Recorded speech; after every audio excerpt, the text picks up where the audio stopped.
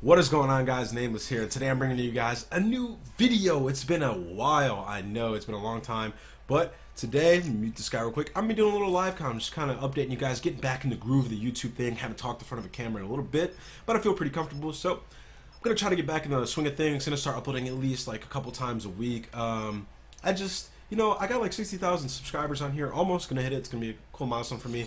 And uh, I wanted to just interact with you guys more. Like I just don't upload. I lost the motivation. Kind of put a lot of effort into my stream, but but I do stream a lot on Twitch at nighttime. Go ahead and check me out. Twitch.tv slash nameless. I'm pretty much live like all the time uh, at night. Other than Tuesday and Wednesdays, we have CWL League matches that I can't really stream during. So after those matches, they end around like 11 p.m. Eastern. I'm live pretty much all the time. I just want to kind of get you guys up to speed and then talk about who shit the bed at UMG South Carolina. So I know a lot of you guys were expecting, you know, the typical who shit the bed video, the funny like asking people what happened. Um, and them having a crazy funny reaction.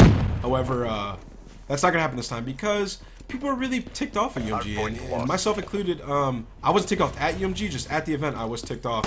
Um, so pretty much what had happened was uh, the way it worked.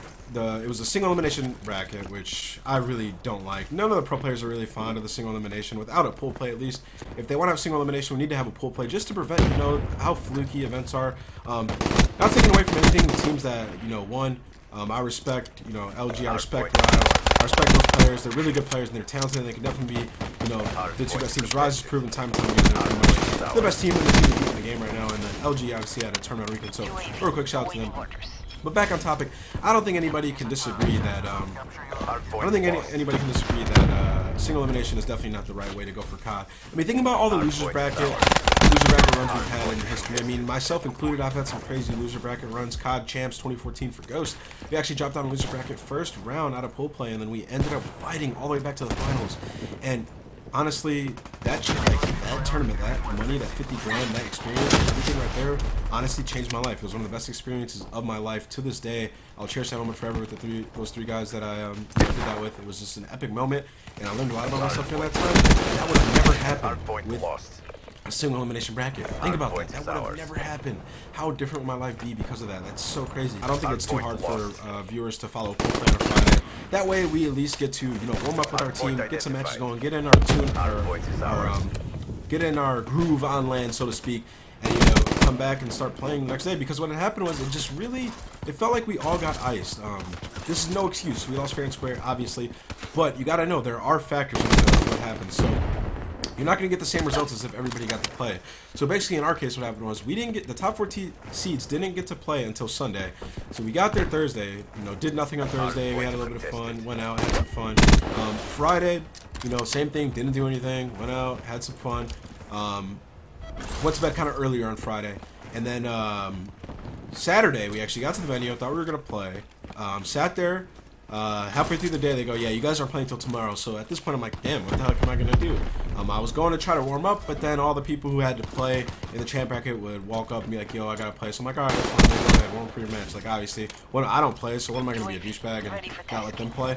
So basically, didn't really get to play that much that day. Um, can't really stream at one station in the pro lounge. Um, obviously, they could probably change that in the future. Um, but you were definitely able to sit down and play free for alls. Um, you could warm up your shot and play free for all, but you weren't going to be able to get a full on server with your team. You just couldn't hog the station like that. But um, the issue what had happened was to lead to that was so on the PlayStation 4. If you guys don't have one and never experienced it, uh, there's a little glitch with the controller where it spazzes out, and I guess with the frequencies, the PlayStation 4 controller uh, connects via Bluetooth. I guess with the frequencies being so many PlayStations in the venue, it was messing up people's controllers, and you don't want to have your controller bugging out when you're, you know, playing a very important match at pretty much our first and only LAN that we've had in a while. So obviously there were a ton of delays that, uh, you know, held the tournament behind schedule. Open Rack was behind schedule, which in turn delayed the tournament a lot. There's really nothing you can do about it, so I really do feel bad for them. They're getting a lot of flack. I feel bad for them, but um, I think Sony, Activision, and UMG are all working towards a fix. I just got a collateral, I think. That's sick. All working towards a fix that can, you know, help in the future. It just sucks that that tournament had to happen like that. And, you know, it's really disappointing. But basically, what I'm getting to is there's no who shit the bed because I didn't want to answer the questions because the controller shit the bed and it really sucked. And it was just a bad experience for everybody. and I don't want that to you know happen ever again. But moving on. Um, but yeah, uh, we hadn't played all weekend, and it really sucked to play and uh, play a team that's been playing all weekend that just came off of a match. I'm not saying it's an excuse or anything, but like I said, man, there's factors that affect everybody, and it affected us, man. Straight up. So I'm just gonna let you guys know that affected us. Kind of screwed us over a bit. We weren't in our groove. We weren't in search and destroy. We lost both search and destroys, and come on, are we really gonna ever lose both searches like that? I mean, maybe they were outplaying us, but we weren't making decisions that I we would have normally made, and uh, they were playing really well. So on top of us not being in our group, they were playing really well, which made us get you know pretty much slapped. But basically, the control shit at UMG South Carolina, and that's the moral of the story. But moving on a little bit of update since I haven't made a video in a while. I'll let you guys know what's going on. We're currently 8-4 in the COD World League. We uh, coming off a 3-0 win last night versus LG. Uh, we have a lot of big wins in the league. Obviously, that 3-2 controversial versus FaZe uh, really sucks that uh, they had to use that good spot and get forfeited, but we won that match with them. We won 3 2 versus. And now I'm actually kind of happy because we're closing out matches earlier now. Like we're winning 3 0s, and we're playing a lot better as a team. We're a lot more comfortable. Um, obviously, our team, we don't stream as much as a team anymore, but we still do have those arguments from time to time. So we're trying to work on that a little bit. And once we can, you know, iron that stuff out, we'll be a lot better. Um, I'm really comfortable with our roles now, running AR. It's been a lot more fun as a team, but it's going to be a work in progress going into stage one. You know, we got six weeks going into stage one. We got a bunch of online tournaments to play. 5K. God forbid anybody gets it off. Really hope that doesn't. Hopefully they go smooth so it's, you know, smooth for all parties involved and we're able to get good practice. But that should be really fun. I'm looking forward to those. Uh, we have the first one this weekend on Saturday. I'm not sure if I'm stream it yet. I'll let you guys know. Um, so if any of you guys are 18 plus and want to sign up, you can. But yeah, that should be really fun. We got a lot of stuff coming up, man. I'm really excited to keep playing this. You know, probably not gonna finish out this game and just talk endlessly, feed you guys and a waste of your time. But thank you guys for tuning in. If you can, please leave a like, comment, and subscribe. Like I said, I'm gonna try to talk to y'all more often. Hopefully, hit that 60k sub soon. And yeah, so control should get better UMG.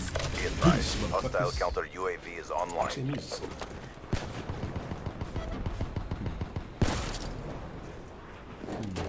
Awkward silence. That's one. Oh, double clap. Oh. Wow, that was fucking sick. All right, well, anyways, guys, peace. Hope you guys enjoyed. How's it going, guys? Listen here. Don't forget to leave a like, comment, and subscribe. And if you want to check out my latest video, which is probably something pretty cool anyways, I don't know what it is. You're going to have to click me to figure out. Just click me.